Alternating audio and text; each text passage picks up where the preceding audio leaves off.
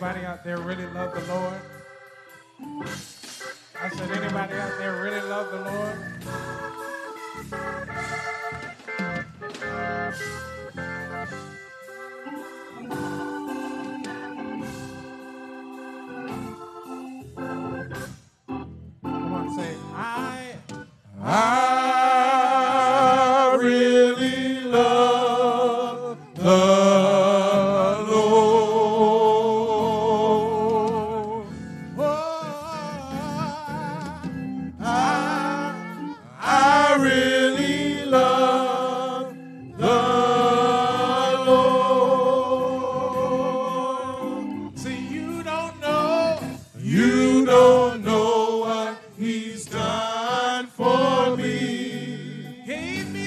victory. Yeah.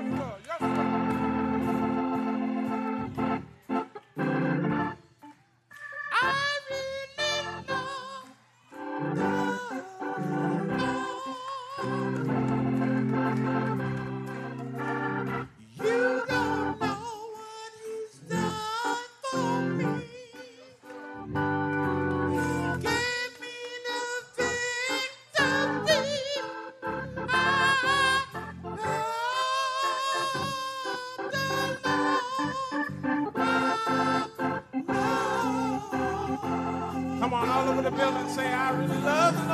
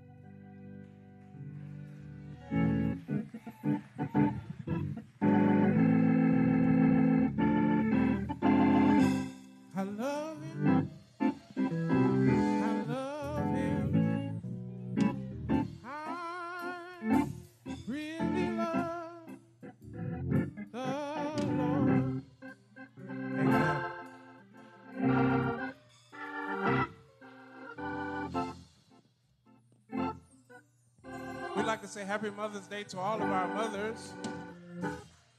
Happy Mother's Day to each and every one of you. We're going to ask all our mothers to stand, wave your hand, do something. Let's see where you at. Amen. Amen. Amen. Our deacons are coming now with our scripture and our prayer.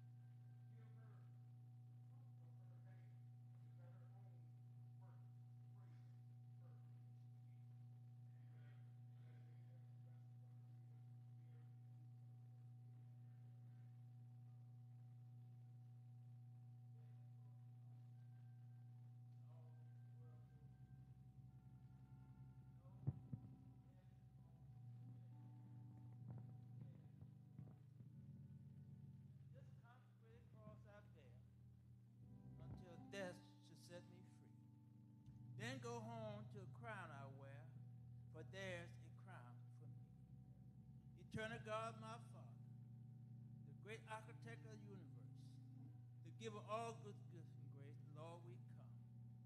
Oh God, we thank you, oh God, for this day that you have set aside, oh God, for Mother Day, oh Heavenly Father. Oh God, we thank you for Mother Day, oh Heavenly Father, that we get an opportunity, oh God, to praise these wonderful women, oh God. Realize, God, they had many ups and downs as they raised their children, oh God. Oh God, you know we wasn't obedient, But our words like you did, oh God. They stay up late at night, worry about their child when they're going to come home. Somebody's child was sick all night, oh Lord, and the mother stayed up with him, oh Heavenly Father. The mother has sacrificed herself for the child. Oh God, many times, oh God, they went out eating, oh God, because they had their children. So God, we thank you for these mothers, oh God. I pray, oh God, that you continue to bless them, oh God. Uh, going up in age now, oh God, and we thank you for them, oh God. And on this day, oh God, sometimes we just love our mother with fine cars. Oh God, houses and home, oh Heavenly Father. Fine jewelry, fine clothes, oh Heavenly Father. So God, but I know today, oh Heavenly Father, the best gift that we can give our mother today, oh God, is we give our life to you, oh Heavenly.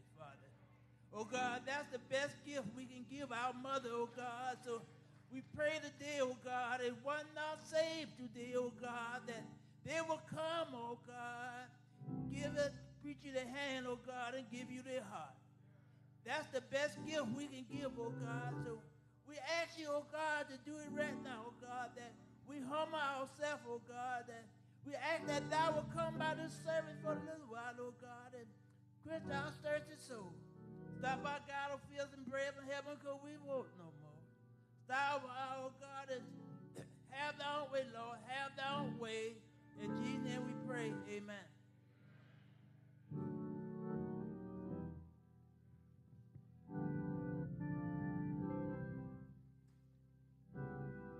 Amen. We thank our deacons for our scripture and our prayer.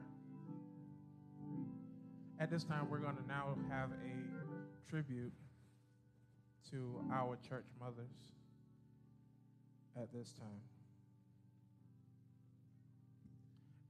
And after that tribute, male chorus is going to come back and sing, and then the next voice you will hear will be that of our lecturer, uh, Minister William Jones.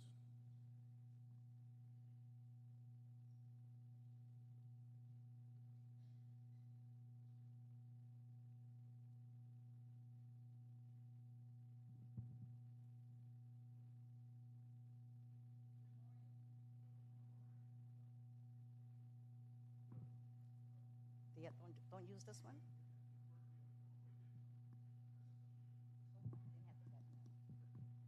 Good morning and happy, happy Mother's Day. Before I give tribute to the former church mothers, if I'm not mistaken, I think I saw one of our oldest church members walked in on her own with her daughter. She celebrated her 101 birthday on April 1st of this year. Sister Mary Simmons. There she go. Raise your hand, Sister Simmons. You're kind of short over there.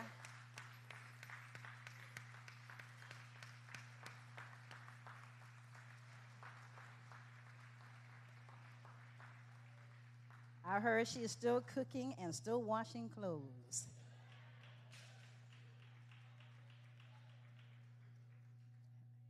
I'm not going to try to be up here long we have about six mothers, but I'm going to give you a brief synopsis. There's so much I can say about each one of these mothers, but you know, time does not permit me to do so. It gives me great pleasure to tell you a little bit about the past church mothers of Second Arnold Baptist Church. Mother Sarah Frazier, the first mother of Second Arnold Baptist Church. May 1922 when she was elected, and she passed in May 30th, 1968.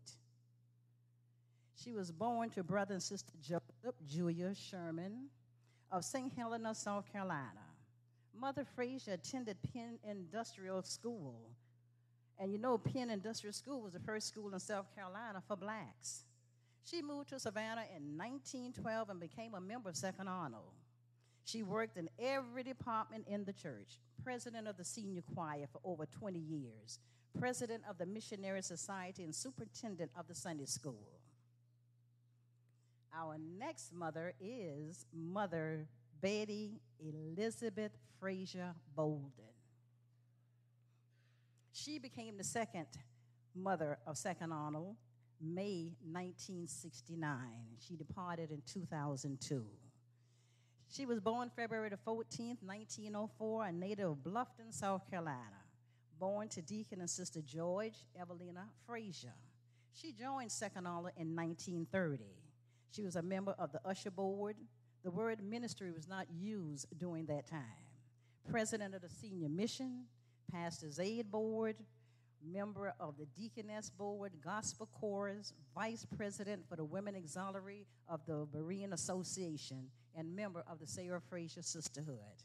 In 1991, the mission sent a letter to the Board of Deacons requesting that the mission change their name to the Betty Elizabeth Bolden Mission in honor of Mother Bolden, and the request was granted.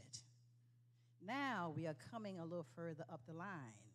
During the candlelight communion service December 7, 20, 2003, Pastor Hall announced the four mothers and the consecration service for them was held on April 25th, 2004.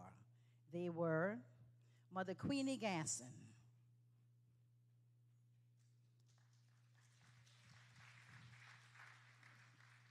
Born April 23, 1917, in Bluffton, South Carolina, to Isaiah and Agnes Frazier.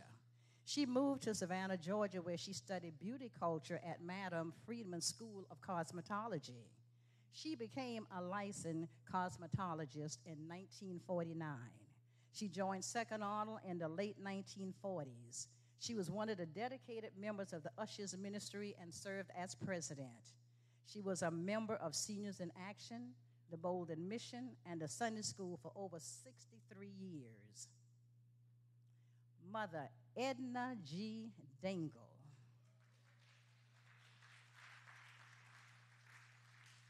She served from April 25, 2014, 2004 until January 17, 2012. She was born September 8, 1912 in Georgetown, South Carolina to Mr. George and Ella Moutry. She joined Second Arnold January 1926 and was baptized in the Savannah River. Mother Dingle completed school at Kyler and moved to attend nursing school through the Charity Hospital and Training School for Nurses. This was the site of the first hospital in Savannah to train African American doctors and nurses. She moved from the hospital to private duty as an LPN, specializing in care of newborns.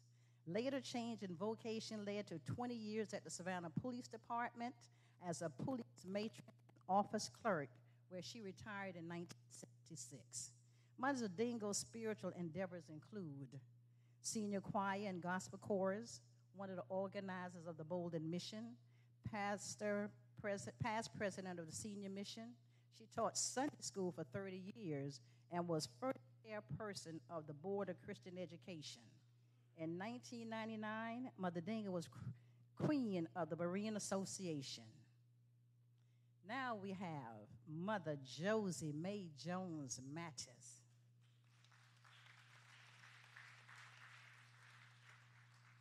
She served from April 25th, 2004 to October 22nd, 2021. Mother Josie Mattis is a native of Savannah. She was born to the late Deacon and Sister Willie Alma Jones in July 1st, 1930. She grew up on Ladies Island, South Carolina. She joined Second Arnold June of 1945. At the age of 15, Mother Mattis has her first job of playing the piano at Second Arnold Baptist Church, an Israelite. Mother Mattis worked in several capacities around Second Arnold, including Sunday school teacher, president of the Deacon, Deacons Wives Ministry, treasurer for the Baptist Training Union, choir number one, member of the Senior Mission, Pastor's Aid, now the Golden Charity Circle, and the Sarah Frazier Sisterhood. Our next mother, Louise Bryant Grant Wiggins.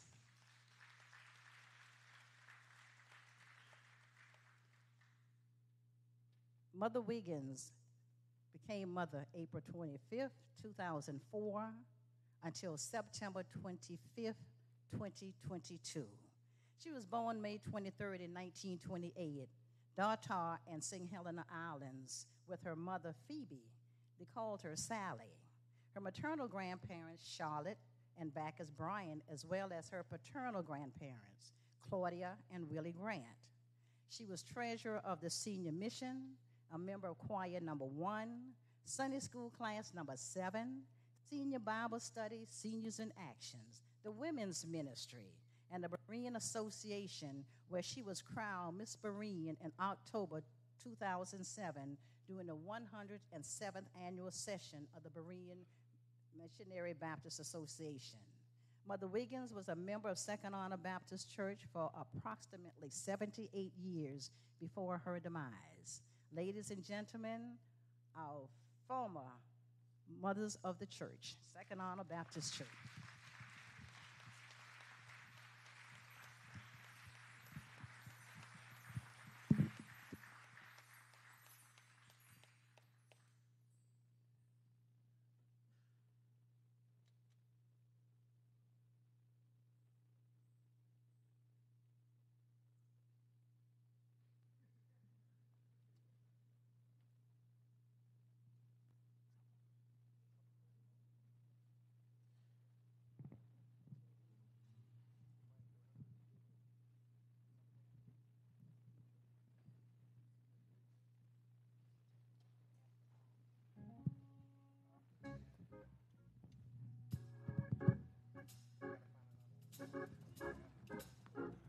On, put your blessed hands together. Y'all can do a little better than that. Come on, put your hands together. We're going to, male chorus just came to bless you for just a few minutes. How many know trouble don't last? I'm so glad. Ooh, yes, I trouble. Trouble don't last always. I'm so glad. Ooh, yes, I trouble. Trouble don't last always.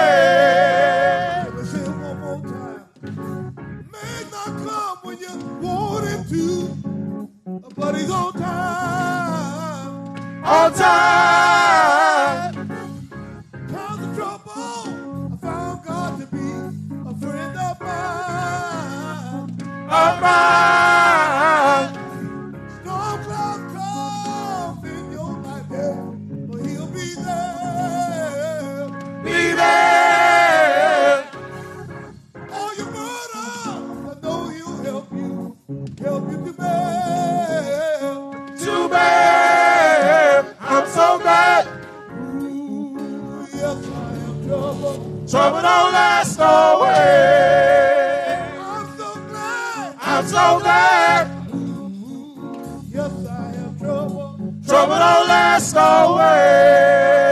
Oh, we've been there. There. Endure for now. Keep the faith. It will be alright. We've been there. Endure for now. Keep the faith. It will be alright.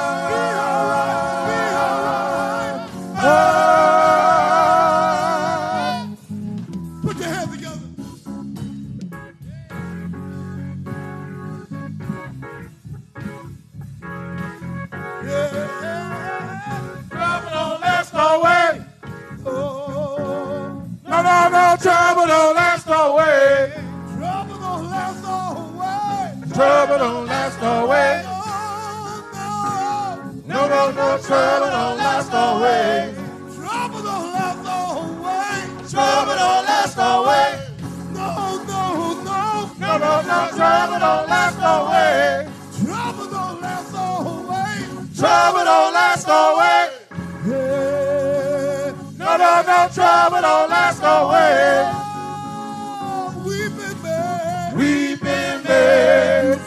Endure for now. Keep the faith. Keep the faith, It will it be. will be alright. We've been We've been made. made for now. Keep the faith. Keep the faith, it will be alright. Be.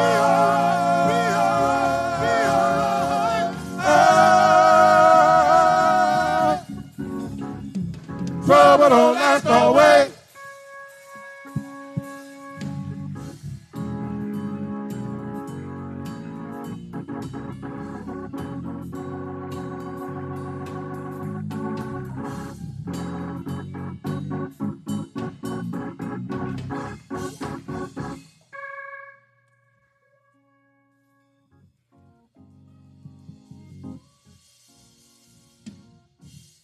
Come on to give the Lord a praise.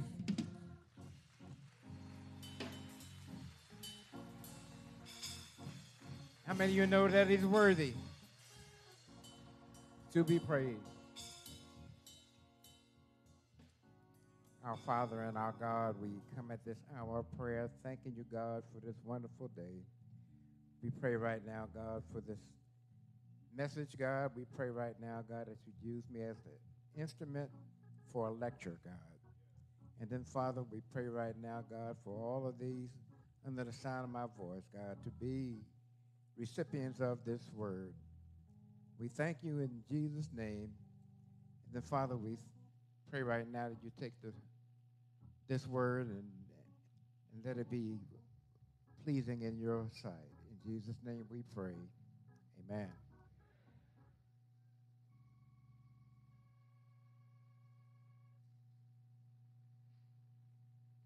We do give honor to God and we give honor to Jesus and the blessedness of the Holy Spirit, to our pastor, our father in the ministry, to his wife. We give our honor. To my wife. We give all honor right now to all of our deacons and all of our ministers, our deaconesses keepers of the door, and how about these dependable men?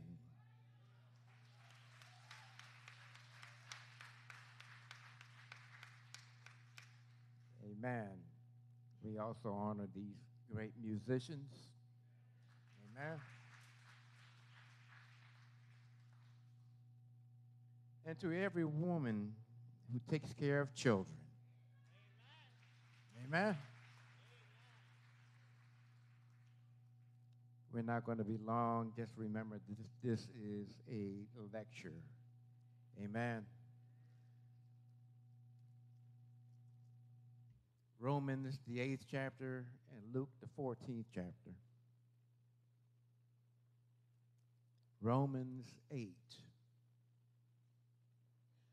and Luke, the 14th chapter. If you have that, then say amen. I don't hear anybody saying anything. Romans 8, verses 16 and 17. It says, The Spirit itself beareth witness with our spirit that we are children of God.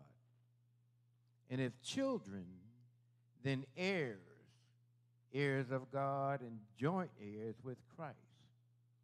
If so be that we suffer with him, that we may also glorified together. Luke 14, verse number 27. And it says, And whosoever do not bear his cross and come after me cannot be my disciple. If that's in your Bible, say amen. On this Mother's Day lecture, we want to speak from this thought a woman's place and the cross. A woman's place and the cross. Where is a woman's place? What is a woman's job? The answer to that question depends on the person asking. Men have their own definition of a woman's place and a job. Their place, according to some men, is somewhere rear of a man, but close enough to make him look good.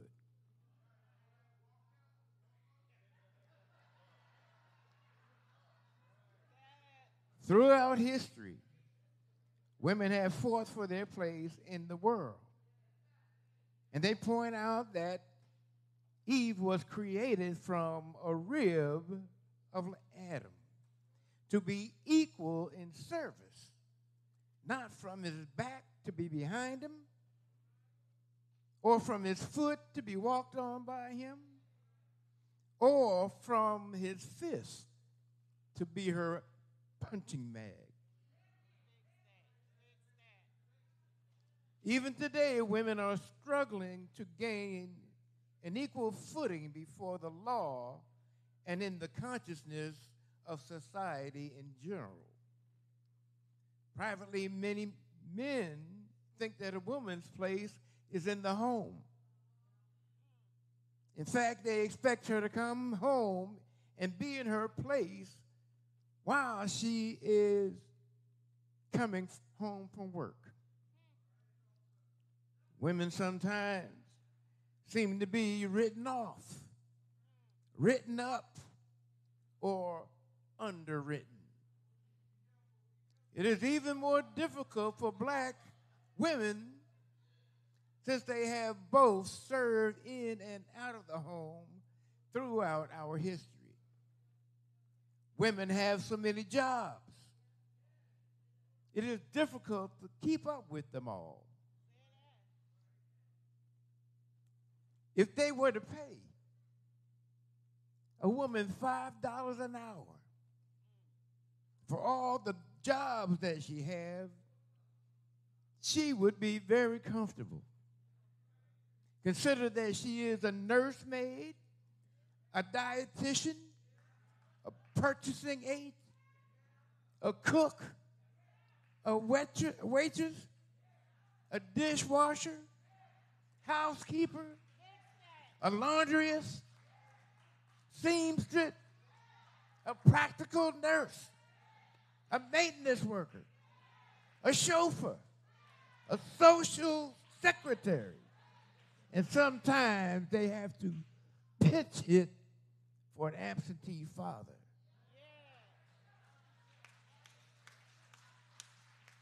At five dollars, a 125 hour work week, she will make us for hmm, a fortune. But where is a woman's place when she stands before God? The woman's place is not measured by the proximity of a man, but by the closeness of her walk with God. Her role is the same as a man to be used as an instrument of God for wherever she serves. As Christians, we are proud to know that God has a special place for everyone. All of us are equal in his eyes. Our place is to join those who confess him as Lord and usher in that day when every knee shall bow and every tongue shall confess that Jesus Christ is Lord. Paul, writing to the Romans, reminds every believer that we have a great inheritance as children of God. As children of God, we are heirs to the promise of salvation and the kingdom of heaven. In this respect, then there are no sexes, There are no races, no national barriers, because all are equal before God. A woman's place in this context is the same as a man's place. Both bear equal responsibility to serve God and to share in the rewards of the faith. So, what is a woman's place? To walk humbly before God and do his will. Throughout our history, the black woman wore many hats. She played many roles in the drama that has become our heritage. Unlike her peers in other races, the black woman has never had the privilege of living a sheltered life. The social circumstances of our history have cast her as a role of a field hand, a nanny, a cook, a concubine, a maid, and a mother and a wife. Today, an increase in the education of black women has resulted in much of their success.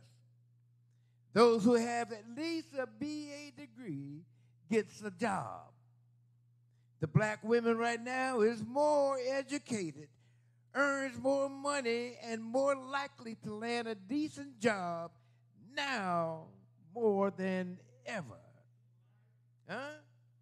Now, that is a challenge that an increasing number of Christian women are accepting every day as they reevaluate their place in the order of things. The black woman's place in the family is that of an equal helper to her husband if she has one. Huh?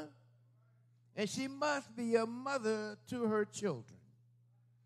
The black woman's place in the social order is that of a citizen of equal worth and receive equal protection under the law and equal pay and opportunity in the workplace. But what is a woman's place before God? When God looks down, he does not see a woman or a man.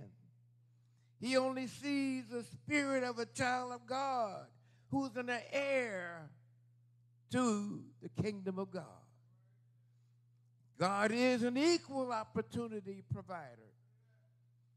Receiving blessing from God is not just a man's thing, because God is an equal opportunity provider. I can hear Hannah talking to the Lord. If you give me a child, I'll bring him back to you.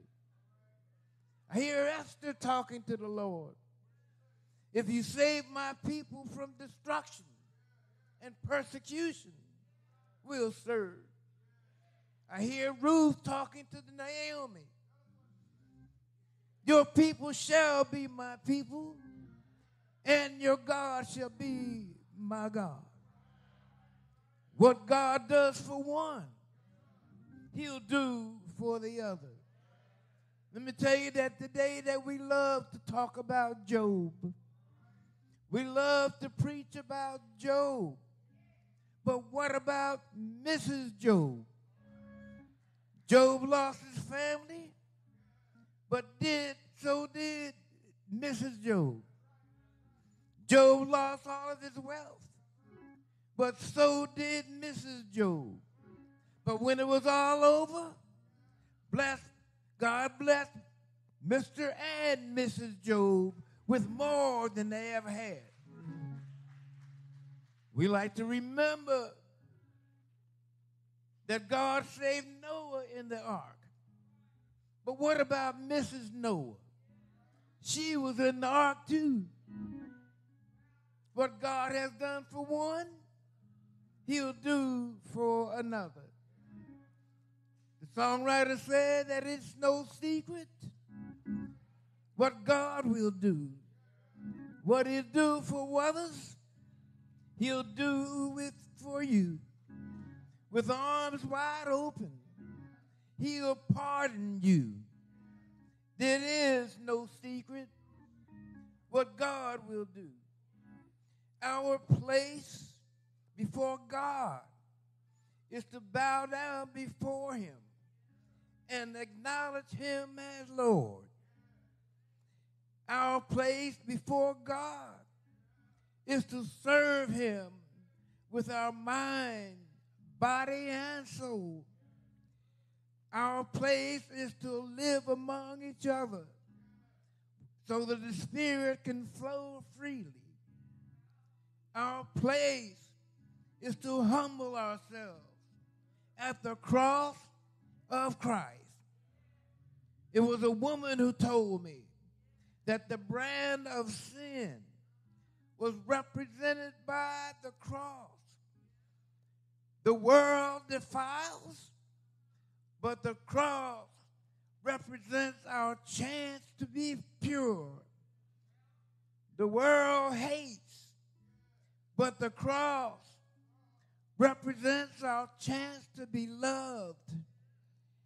The world destroyed, but the cross represents our chance to be lifted up. The world darkens, but the cross represents our chance to walk into the light.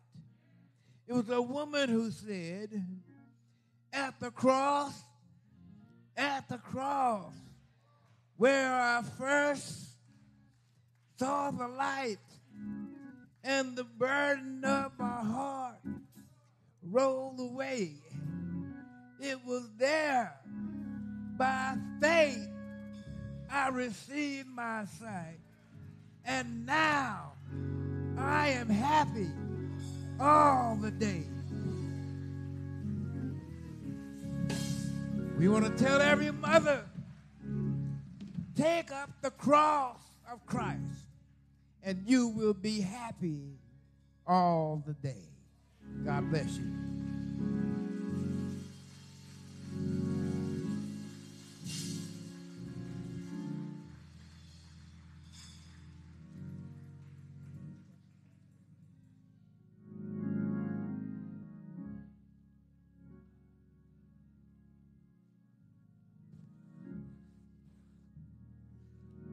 Can we give our lecturer another hand?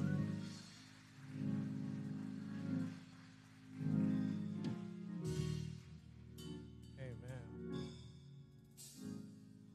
It is now offering time. I know y'all thought we forgot, but we ain't forgot. So since we ain't forgot, you shouldn't forget. It is Mother's Day, so let's do what we got to do. Amen. Amen. How many people cooking? How many people going out? Whatever you're doing, let's give to the Lord first. Amen. Our ushers are preparing now to receive our offering. Father, we thank you for the gifts that are getting ready to be received. We ask that you will bless these purses, bless these pockets, that you would do what you do best. We thank you for the hearts of giving to your kingdom. We bless you now in Jesus' name. We do pray. Amen.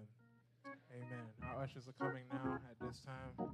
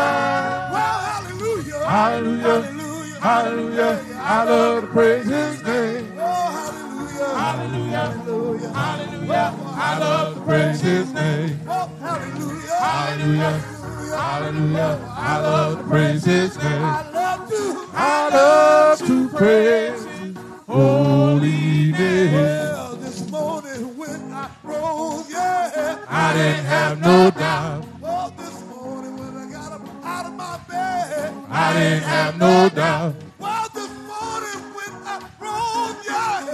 I didn't have no doubt.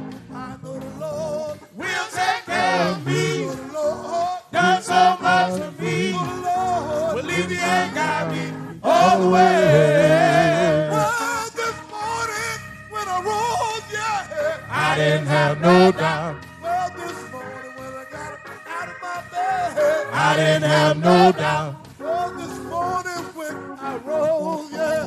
I didn't have no doubt. Well, I felt like talking. Felt like talking. Felt like talking, y'all. Felt like talking. Felt like talking.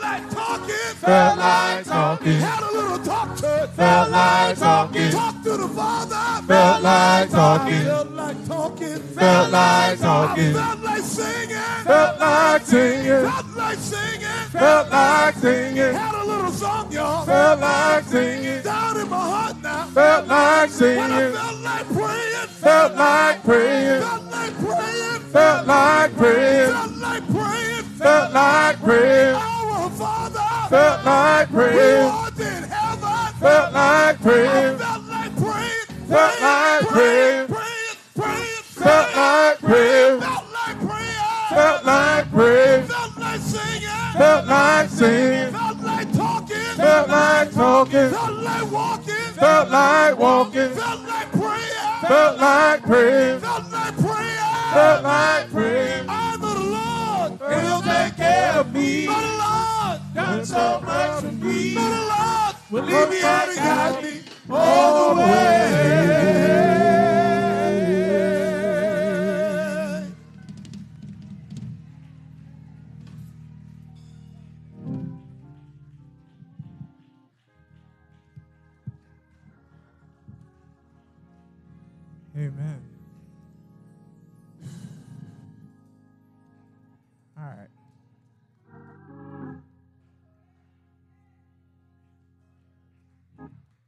Right, don't act like y'all in a concert now. All that. Uh, got me tired. Amen. We're going to pause real quick and um, we're going to do some presentations. We're going to ask um, Brother Jones to come first and do his presentation. And then after his presentation, then we're going to ask uh, Golden Charity if they would come and do their presentation.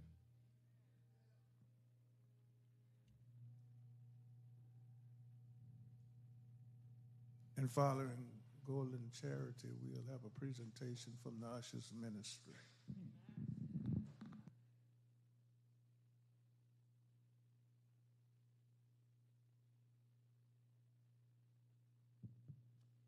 morning, church. First, we want to say Happy Mother's Day to all of the mothers. and uh, allow me to deviate and go off script just a bit. Uh, to my wife, Monica, would you stand? Amen.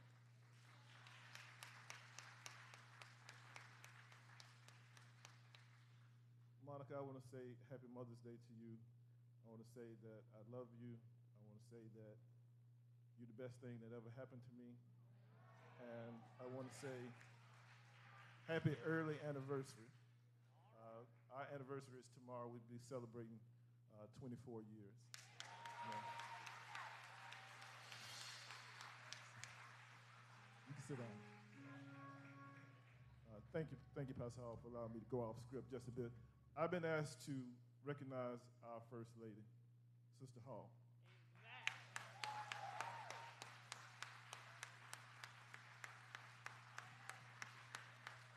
Let's stand and give her, stand and give her a round of praise.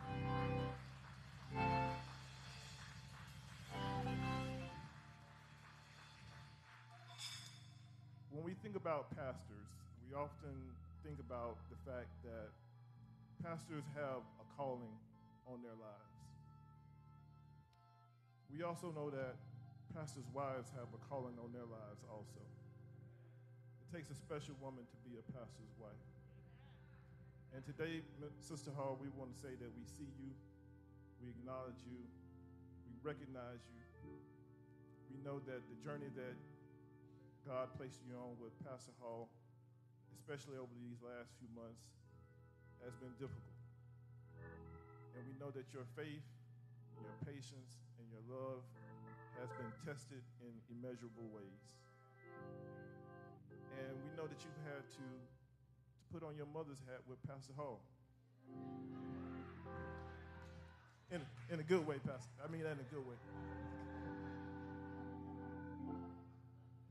But today, especially today, we want to say that we love you. We appreciate you. We thank you for allowing him to lean on you. And we just thank you for answering the call each and every time. And so today we want to recognize you with this small token of appreciation.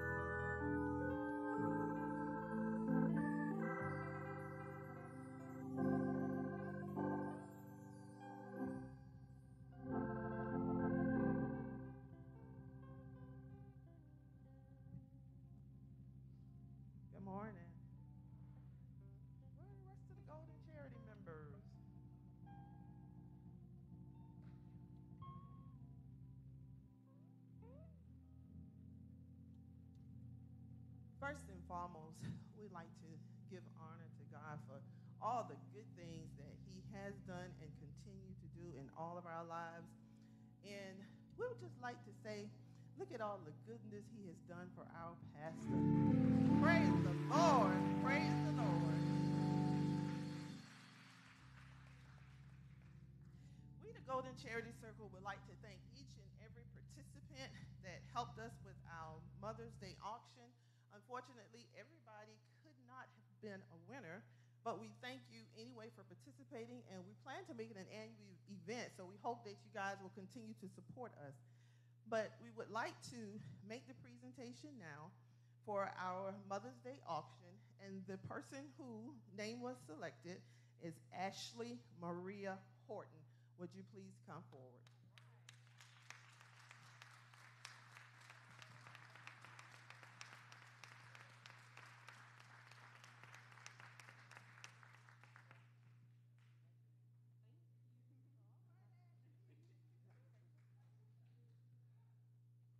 Thank thank you.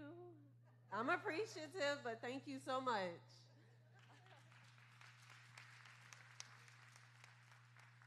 In addition, um, I think Brother Jones has said everything that the Golden Charity would have liked to say. Um, so we ditto his message to our beloved, our virtuous woman, Sister Helen Hall. We love her so, so, so, so very much. And on this day, we, the Golden Charity, would like to say Happy Mother's Day. We love you, and there's nothing that we wouldn't do for you.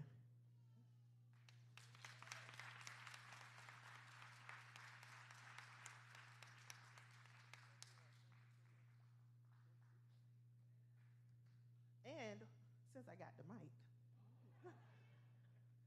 also this week, our um, beloved Sister Hall will be celebrating a birthday. And so we would like to say happy birthday to you, Sister Hall. And in addition to that is Pastor and Sister Hall's anniversary on Sister Hall's birthday. So we would like to say congratulations to this powerful and loving and awesome couple. And we say happy birthday to Sister Hall. So we have two additional cards for you.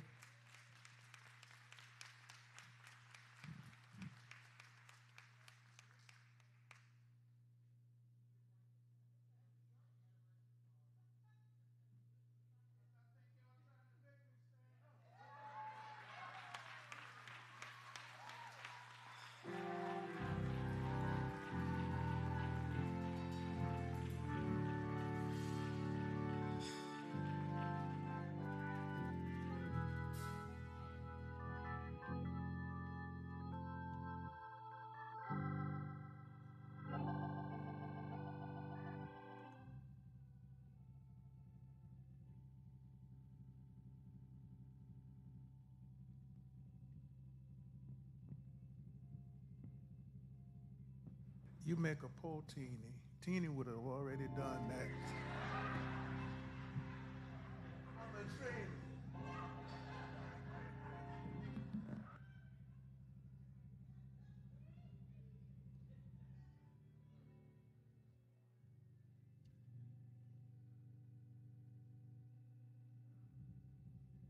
Uh, ushers.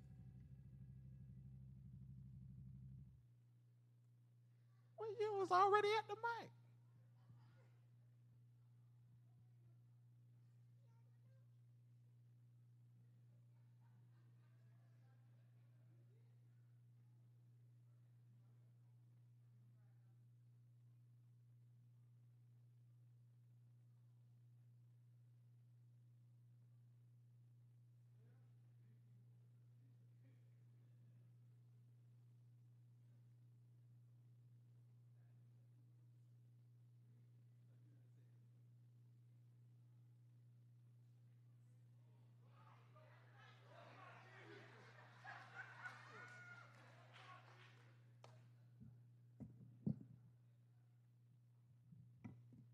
I didn't know I was supposed to do this, y'all.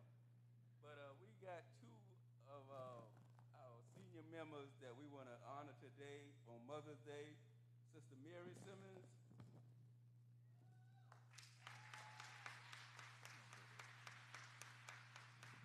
And Sister Thelma Young.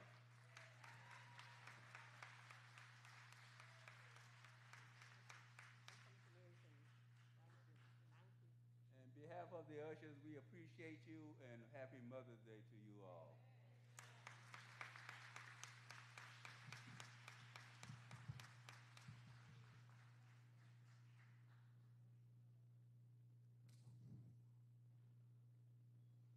Amen. The male chorus is coming at this time. And after the male chorus, the next voice you will hear will be that of the preacher, Minister Shannon Nelson.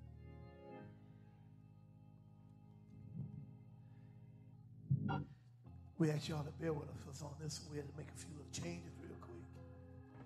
Amen. We're going to do our best. Okay. Amen. Take all mistakes for love. Amen. Guys, you ready?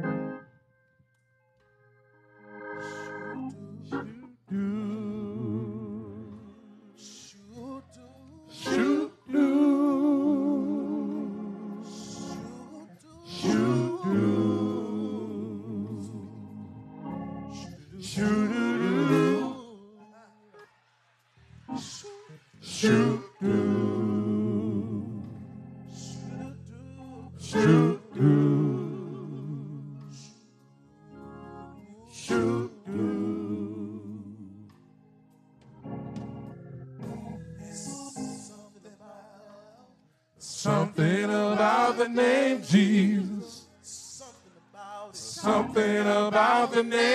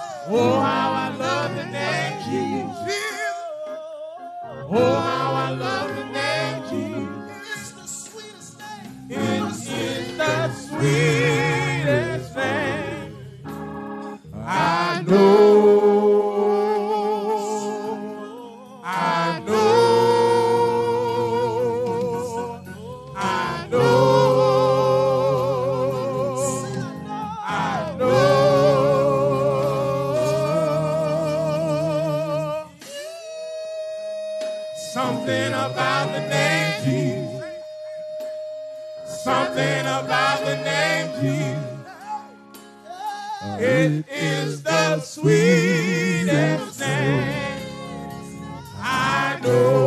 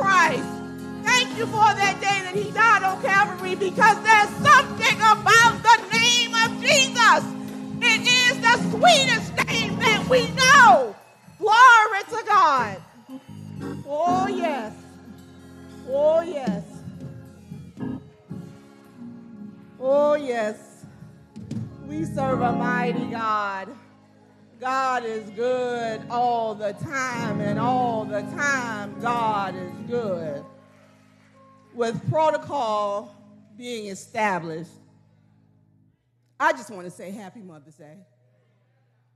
You all are the most beautiful mothers that God has created. So we thank God for this day.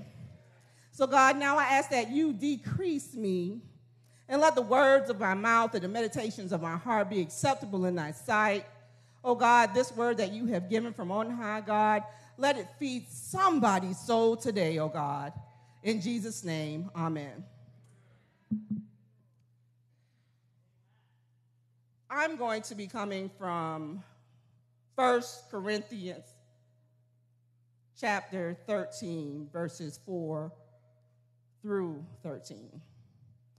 Love is patient, love is kind, it does not envy, it does not boast, it is not proud, it does not dishonor others, it is not self seeking, it is not easily angered, it keeps no record of wrongs. Love does not delight in evil, but rejoices in the truth.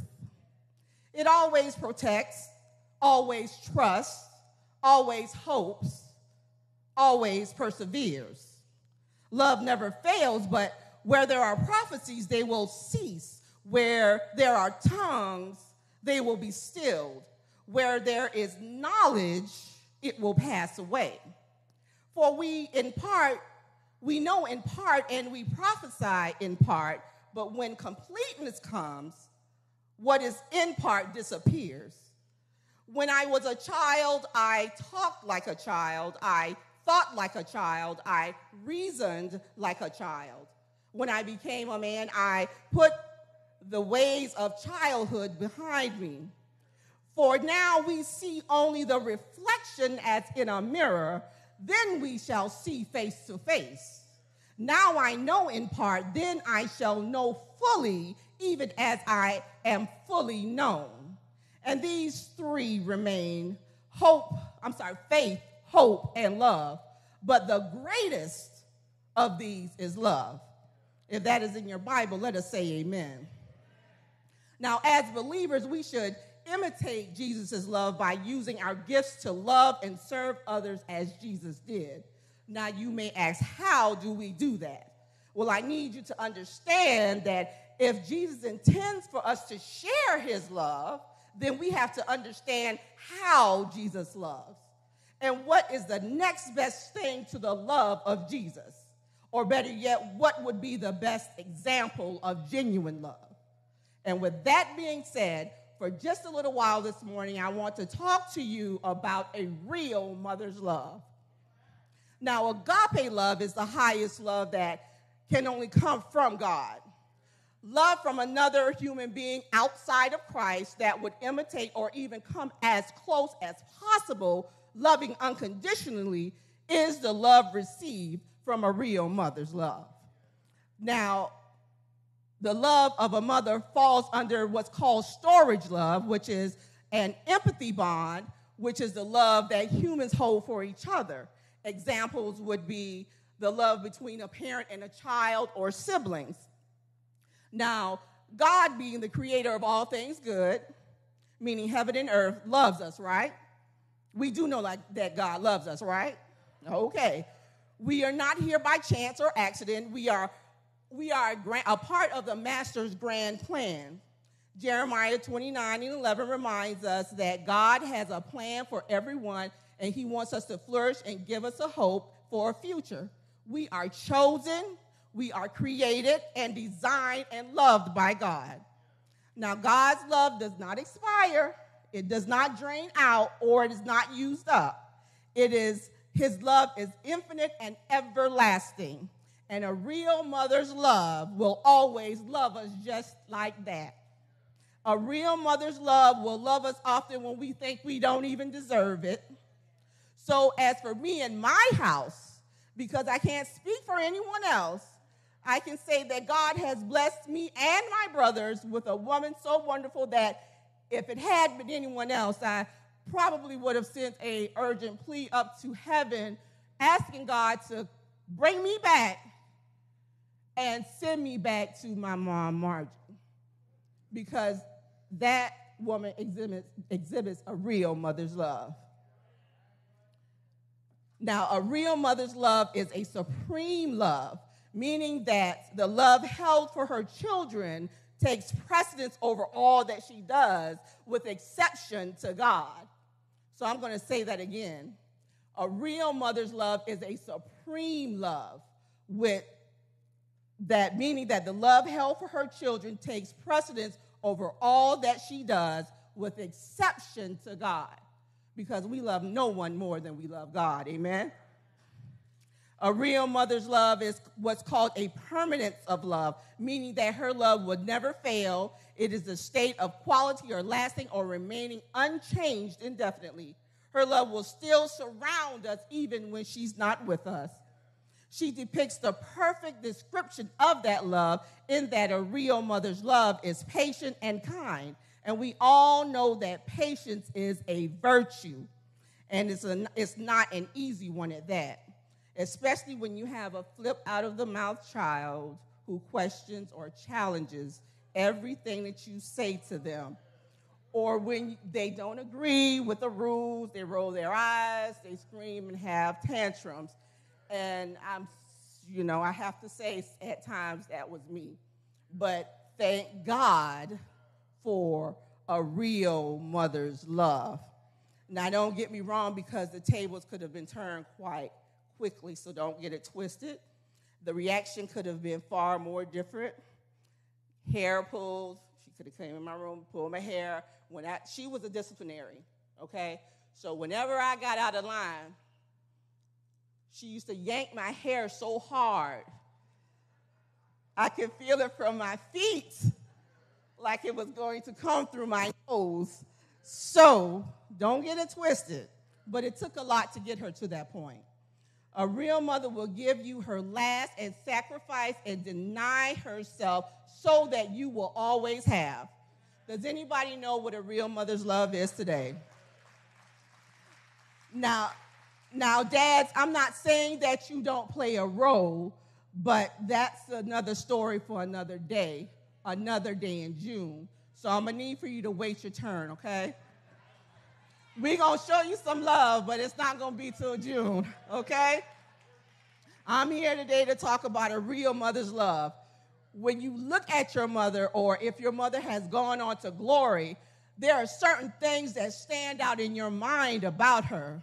Just how remarkable and amazing that she was, or she still is just how talented and fabulous, not to mention how beautiful and smart. You know, our mothers like to dress. They like to dress us, especially when we were little girls. The, the ribbons and the, the socks. So our mothers like to dress. Um, our mothers are innovative women. They are strong willed. How else will one woman run a household taking care of everything from her husband to the children, to the finances, the dog and the cat, if you have a dog or a cat. Not many households have a dog or a cat. so the Bible says in Proverbs 31, starting at verse 10, a wife of noble character who can find? She is worth far more than rubies. Her husband has full confidence in her and lacks nothing of value. She brings him good, not harm, all the days of her life. She selects wool and flax and works eager with her hands. She is like the merchant ship bringing her food from afar. She gets up while it's still night. She provides food for her family and portions for her female servants. Now, verse 25 says, She is clothed with strength and dignity, and she can laugh at the days to come. She speaks with wisdom and faithful instruction is on her tongue. She watches over the affairs of the household and does not eat the bread of idleness. Her children arise and call her blessed, her husband also, and he praises her. Many women do noble things, but you surpass them all. Charm is deceptive and beauty is fleeting, but a woman who fears the Lord is to be praised. Honor her with all that her hands have done, and let her works bring her praise at the city gate. Now, a real mother's love is unapologetic. A real mother's love is influential, and a mother, a mother's love moves us with such passion to do things as if it was going to be the last mission. Nobody know about that? When she tell you to do something, when she tell you to clean up something, and you don't clean it, and you sit there, and then she come, all you see is a hand coming at you. So what she telling you to do? Move with passion, get it done, right? So those of us who have mothers who honor the Lord know that they should be praised because really nothing else matters. We are to salute our mothers daily and give them their flowers while they can still smell them. Because if you don't, if you know what a real mother's love is, there's nothing on this earth that can compare. A real mother's love will protect us. A real mother's love will give us guidance. A real mother's love, though at times may be, seem harsh, in the end, we know that it is meant for our good. Her greatest journey in life are her children. She loves them enough to train them up in the way that they should go, and when they are old, they will not depart. A real mother's love is always concerned. She knows when something is wrong with her child. She is concerned enough to kneel before God's throne of grace and pray to the Master above to deliver her child and restore the faith that is needed to serve him. A real mother's love does not condone the wrong actions of a child. She chastises and corrects the wrong. She does not spare the rod. A real mother's love is like the Syrophoenician woman in Mark chapter 7, verses 25 and 26, who, because of her faith and knowing that God is not a man that he should lie, or the Son of Man that he should repent, she falls to her feet and begs Jesus to drive the demon out of her daughter. This is what a real mother love is. This is what a real mother love does. If you read further down in the text, first, Christ says, First, let the children eat all that they want. It is not right to take the children's bread and toss it to the dogs. But because of the real mother's love and faith that she had, she replied to Jesus, Even the dogs under the table eat the children's crumbs. Then Jesus told her, For such a reply you may go, the demon has left your daughter. What a God we serve. What a God we serve. Does anybody know what a God we serve? Well, I'm here to tell you that when she went home, she found her child on the bed and the demon was gone. Because of her faith, she stood firm on her faith. She wasn't afraid to reply to Jesus in the manner in which she did. And because of that, Jesus cured her daughter. He released the demon from her daughter. A real mother's love knows that God is able to do more than what we could ever imagine. When all doors seem to be shut, a real mother again can go into the throne room and pray to God on her child's behalf. And what he tells her, what Christ tells her, is that I am the door to the sheep. All you need to do is call my name. Now, how many of us that has mothers know to call on the name of Jesus? There's nothing that Christ will not do. All you have to do is ask. You have, you have that advantage when you have a real mother's love because not all mothers care. Not all mothers care. A lot of women bring the child here. They're vessels that's used to bring the child into the world. But once that child gets here, they go back to their life. There's nothing that they want to do more for that child. And it's a sad thing, but then you have other women who are more than willing to give love to a child that they don't even know. So we thank God for those mothers. We thank God for the love of those real mothers. A real mother is often tested in the Bible that in which the Bible tells us in Exodus 2, verses 1 through 10, it says that now a man of the tribe of Levi married a Levite woman, and she became pregnant and gave birth to a son. When she saw that he was a fine child, she hid him for three months. But when she could hide him no longer, she got a papyrus basket for him and coated it with tar and pitch. She, then she placed the child in it and put it among the reeds along the bank of the Nile. His sister stood at a distance to see what would happen to him. Then Pharaoh's daughter went down to the Nile to bathe, and her attendants were walking along the riverbank. She saw the basket. She saw the basket among the reeds and sent her female slaves to get it. She opened it and saw the baby. He was crying, and she felt sorry for him. This is one of the Hebrew babies, she said. Then his sister asked Pharaoh's daughter, Shall I go and get one of the Hebrews' women to nurse the baby for you? Yes, go, she answered. So the girl went and got the baby's mother. Pharaoh's daughter said to her, Take this baby and nurse him for me, and I will pay you. So the woman took the baby and nursed him. When the child grew older, she took him to Pharaoh's daughter, and he came and he became her son. She named him Moses, saying, I drew him out of the water. Now, here we have a real mother, the, the Levite woman had no choice but to do this because Pharaoh had ordered that all the Hebrew boys that were born were to be thrown in the Nile River. So you talk about a real mother's sacrifice to risk losing her baby in order to save him. But we see that God had a master plan for our future by the name of Moses, who would free the Hebrew people from a life of captivity if that had not been if that had not taken place, we would not be here. So we thank God for his master plan and for the love of a real mother. Now, without God's plan, again, that would not have been fulfilled. So today we need to esteem our mothers. We need to honor our mothers because she completes man. She is soulful, she is virtuous, she is fierce, and she is bold. And she has dominion. A real mother's love not only makes a strong impact on her children, but on every kid in the, in the community, in the neighborhood. I know because I have a real mother. She's beautiful, she's like a lion roaring, and she's humble as humble can be. God created the real mother and placed genuine love inside of her because he knew that someone like me and someone like you needed the love of a real mother.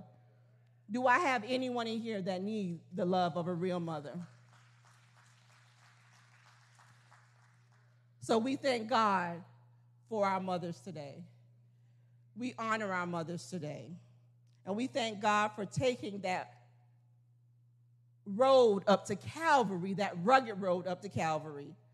We thank Him because if He had not died for us, if He had not cast our sins into the sea of forgiveness, we would not be here. We would not have that love of a real mother. We would not know what it means to, to be nurtured. We would not know what it means to, in the midnight hour when she's crying because we've done something we had no business doing, that she called on the name of the Lord and he came through. Is there anyone in the sanctuary today that knows about the love of a real mother? Is there anyone that can thank God today because he shed his blood on Calvary for us. Is there anyone in the sanctuary today that will honor Christ for our real mothers? Christ died on the cross. They whipped him all night long.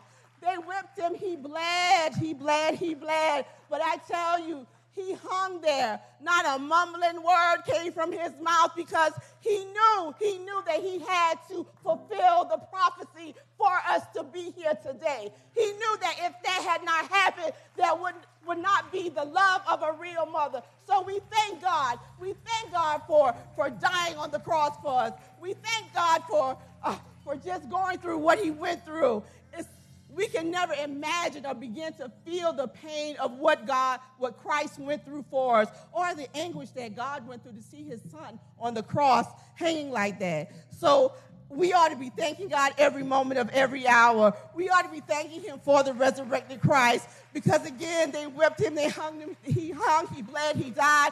But early, somebody say early, early, early early Sunday morning, he got up. Christ got up with all power in his hand. Not my power, not your power. He got up with all power and dominion in his hand. So for that, we thank you, Lord. For that, we thank you for the resurrected Christ. For that, we thank you for the love of a real mother. Amen. The doors of the church are open. We're resting from our seats with everyone today. This day, which is a special day, unlike no other, because we are honoring our mothers today. There are some of us that know what the love of a real mother is. Then there are some that didn't know until they got older. But all in all, we thank God for the life of real mothers. So, would there be one today that will give their life to Christ? Give their life to Christ, it does not matter where you've been, what you've done. God wants you. He wants you like that. He wants you broken. He wants you. He wants you so that He can restore you. Hey, God. He wants to fill you up. Let Him do that. Glory to God. Will there be another? Oh, God, we thank you this morning. Oh, yes. Oh, yes.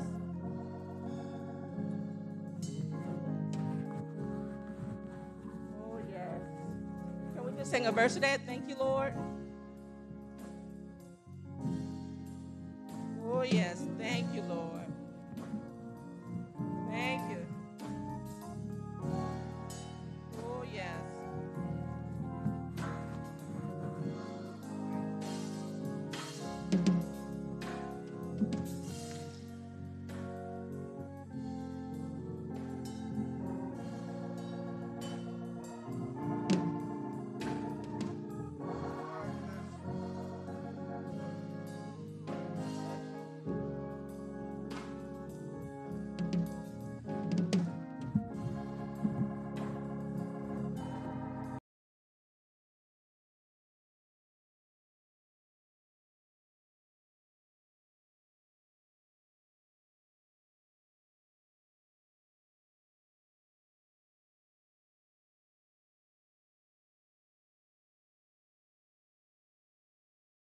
That you tuned in with us today. We pray that the word that you received on today was something that you'll be able to use this week. Listen, I know that God is able to do exceedingly abundantly above all we can ask or think. All you have to do is abide in Him. All you have to do is believe in Him. I'm so glad you tuned in with us, and we hope and pray that you'll tune in with us on Tuesday nights for Bible study on Zoom, or next Sunday we'll be right back here. God bless you all and have a blessed week.